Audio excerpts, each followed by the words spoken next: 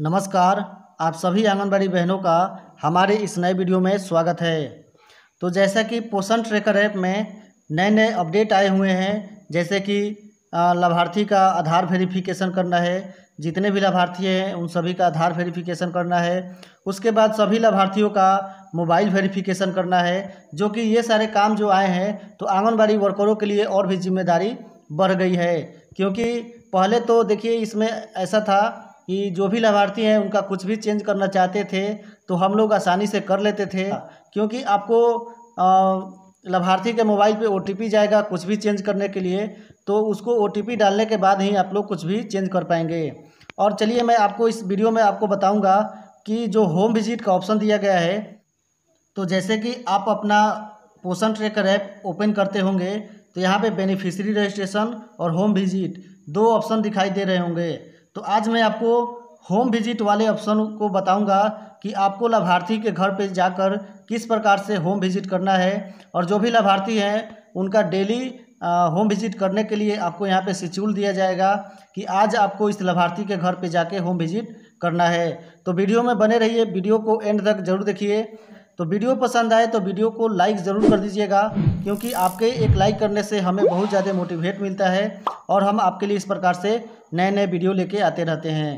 और जो लोग भी चैनल को सब्सक्राइब नहीं किए हैं, वो चैनल को सब्सक्राइब कर लीजिए। तो चलिए आज का वीडियो शुरू करते हैं। तो जैसे कि यहाँ होम विज़िट वाले ऑप्शन पे हम लोग जैसे ही क्लिक करते हैं तो क्लिक करने के बाद यहाँ पे जो जो लाभार्थी हैं, उनका ऑप्शन शो हो जाएगा। तो अब आपको देखना है कि किस लाभार्थी में नंबर दिखा रहा है कि आपको होम विज़िट करना है। देखिए, ये जो दो लाभार्थी हैं, इनको कुछ भी इसमें शो नहीं हो रहा है तो अभी इसमें हमको होम विज़िट नहीं करना है। तो आपको मैं बताऊँगा कि होम विज़िट के साथ साथ कि आप लोग जब भी होम विज़िट कीजिएगा तो उस समय उस लाभार्थी का जो मोबाइल वेरिफिकेशन है आप लोग उस लाभार्थी का मोबाइल वेरिफिकेशन भी कर लीजिएगा। इससे क्या होगा कि आप लोग होम विज़िट करने जाएँगे तो उस लाभार्थी के घर पे तो जाएँगे ही, और उसके साथ साथ उनका मोबाइल पे जो वेरिफिकेशन कोड जाएगा, वहाँ से आप लोग आसानी से उनका वेरिफिकेशन कर सकते हैं। तो चलिए, अब आपको हम बताते हैं कि किस प्रकार से होम विज़िट करना है, किस प्रकार से जो शेड्यूल है वो आपको दिया जाएगा डेली वर्क करने के लिए। तो देखिए, यहाँ पे ड्यू टू डे का ऑप्शन दिखा रहा है। तो ड्यू टू डे में जो लाभार्थी का होम विज़िट करना होगा आज के दिन, उसका यहाँ पे दिखाएगा कि आज आपको इस लाभार्थी के घर पे जाके होम विज़िट करना है। उसके बाद यहाँ पे अपकमिंग है, यानी कि टोटल नौ लाभार्थी है और नौ लाभार्थी में देखिए आठ अपकमिंग है और एक जो लाभार्थी दिखा रहा है, वो यहाँ पे लेट हो चुका है, यानी कि उसका डेट आगे बढ़ चुका है, उस डेट को होम विजिटिंग नहीं हुआ है। तो इस प्रकार से आप लोग नीचे देखेंगे कि किस तारीख को हमको किस लाभार्थी के घर पे जाना है और होम विज़िट करना है।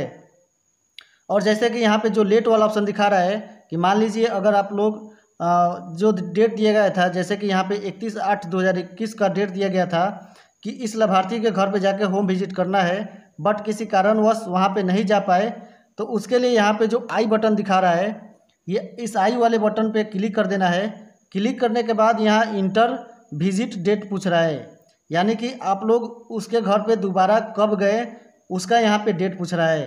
तो जिस तारीख को आप लोग उसके घर पे जाएँगे जो लेट हो गया है तो उसको उसके लिए यहाँ पे कैलेंडर खुल जाएगा और सिर्फ़ और सिर्फ़ वहाँ पे वही डेट शो करेगा जिस दिन आप उस लाभार्थी के घर पे होम विज़िट करने जाएँगे। तो यहाँ पे आ, देखिए आज का डेट शो कर रहा है तो इस पर क्लिक कर देना है। क्लिक करने के बाद इस सबमिट वाले ऑप्शन पे क्लिक कर देना है। तो यहाँ से उस लाभार्थी का जो लेट वाला ऑप्शन है, हट जाएगा।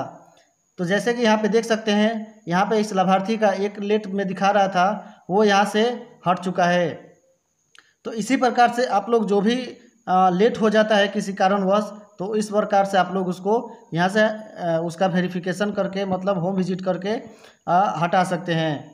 उसके बाद जो भी और भी मॉड्यूल हैं, जैसे कि जो बच्चे का मॉड्यूल है, उस उस मॉड्यूल में भी आपको यहाँ पे टच करना है। टच करने के बाद यहाँ पे सभी डिटेल्स दिखाएगा कि आज इनके घर पे जाना है, इस बच्चे का होम विज़िट करना है। लेट वाले जो ऑप्शन दिखा रहा है, उसको आप लोग किस प्रकार से करेंगे वो तो मैंने बता ही दिया।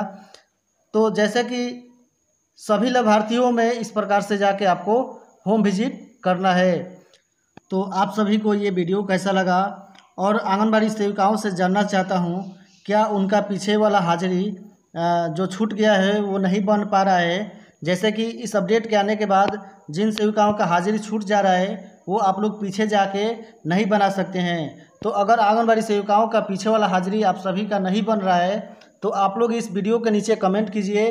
कमेंट करने के बाद मैं आप सभी को एक अलग से सेपरेट वीडियो बना दूँगा, जिसमें कि आप सभी आंगनबाड़ी सेविकाओं का, जिनका पीछे का हाजिरी छूट गया है, वो नहीं बना पा रही हैं तो आप लोग उससे, आप लोग हाजिरी बना सकती हैं। इसके लिए आप कमेंट ज़रूर कीजिए। तो मिलते हैं फिर किसी नेक्स्ट वीडियो में। तब तक के लिए आप सभी का वीडियो देखने के लिए धन्यवाद। जय हिंद।